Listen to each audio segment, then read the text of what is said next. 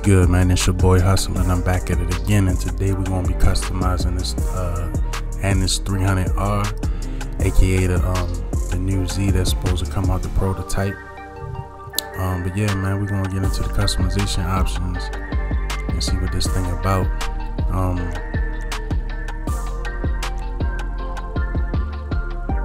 fenders, basically, you got a few options. I'm gonna put um probably the secondary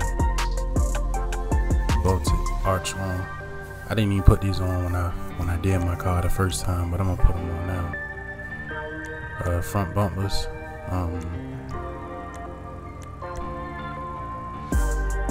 you have 13 options. I like the carbon splitter. At first I wasn't gonna put one on there, but it kind of matched the side skirts. So I'm gonna put the um, carbon split on there. But like I said, you got 13 options. They look pretty good. Um, but the second one to me kind of goes with what I got going on. So yeah, I'm gonna put that one.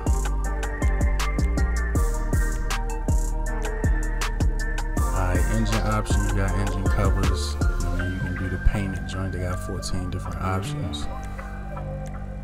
Exposed engine cover. I mean, make it look realistic. I guess 3D when you pop the hood.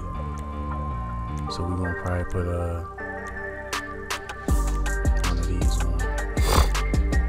Probably the primary exposed engine cover. I'm gonna go with that one. Um, exhaust. They already had some nice factory exhaust, but of course I want mine a little bit bigger, so I might go with these right here. Carbon entity exhaust. So yeah, we're gonna go with that one. Van uh hoods. You got I think that's 15 options. Um a lot of these look good, but I'm gonna go with the exposed engine. The carbon say vanity hood. So we're gonna go with that one. This one looked good if the lights wasn't the way that they were. But anyway, yeah. Um, that vanity hood. It's a little bit different. Then you got the transparent hood where you I guess you can see. Um, I don't know what that does, but but yeah, man, they got some good options on here. Um, liver, liveries. Um, I didn't put anything on,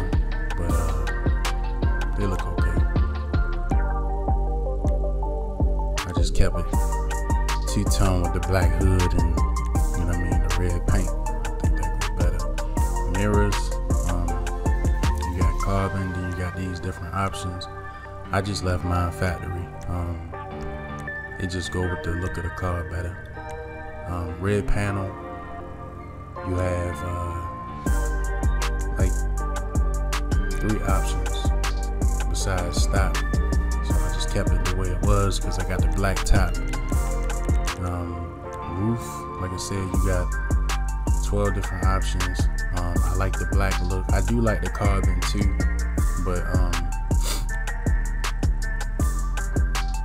I'm gonna go with the inset roof because it give it a little bit more contrast, like detail. It's not just plain Jane. So yeah, I went with this one, the black with the Inset. But the carbon look good too. But I'll go with the black, the gloss black. Skirts, um, I just went with the carbon because it's simple. Like I said, they be they be putting doing too much with the shark fins or whatever, you know, around the sides of the car. It don't look right to me. So simply clean. That's the motto. The motto. My bad. Spoilers, you got some good options. But since my car is not like, you know, it's real simple and sleek, I'm gonna go with the primary wedge ducktail. I really like the ducktail uh, because it actually it's not doing too much, but it give it a little bit of, you know, depth or whatever. So I went with that one, but they got some nice options on here. To me, some of them make it look like a Porsche a little bit in the back. if y'all remember, I think the 1996 Porsche that looked like this is kind of round. I mean, some people don't know that, but anyway. And then basically the tenant windows, because like I said, wheel options we already know. So I'm gonna pour this thing out the garage and we're gonna check it out on the outside, see what it looked like. But yeah, man, that's the look right here. I got the red candy paint with the black top, black accents and black trim, black and red seats with the black rims. And you know what I mean? That's the look. I think the car looks really good. And, um, you know, make sure y'all like, comment, subscribe.